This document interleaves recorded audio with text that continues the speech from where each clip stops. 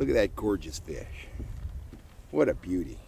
It's a beautiful trout. Howdy guys, I am Cal Kellogg and it is time for another head-to-head -head lure matchup. Um, that's where we take two lures, match them up, and I give you my opinion as to which is the best and most versatile lure. Your mileage may vary from mine, but this is the way I see the world, and I'm warning you up front. I may be a little bit uh, prejudiced in this one because one of the lures we're matching up is a lure that I designed myself. Today we are matching up the iconic Speedy Shiner right there, one sixth of an ounce of, of trout catching power. I've caught many hundreds of trout on this lure right here, and we are matching it up with my Speed Spoon, which I've also caught many hundreds of trout on.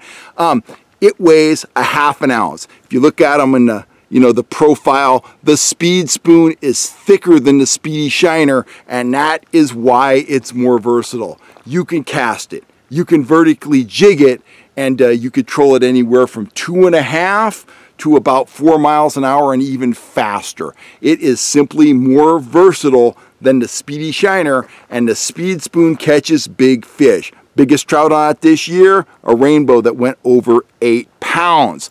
They're both fine spoons, but I gotta give the edge to the Speed Spoon simply because it's more versatile. That's the way I see the world. I'm signing off for now.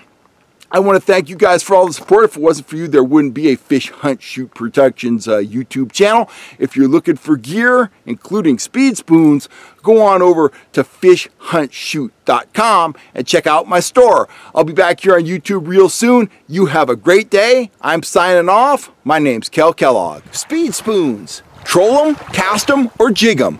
If you want to get aggressive with trout, Get a set of Cal Kellogg Speed Spoons and get your fish on. Available at the fishhuntshoot.com website.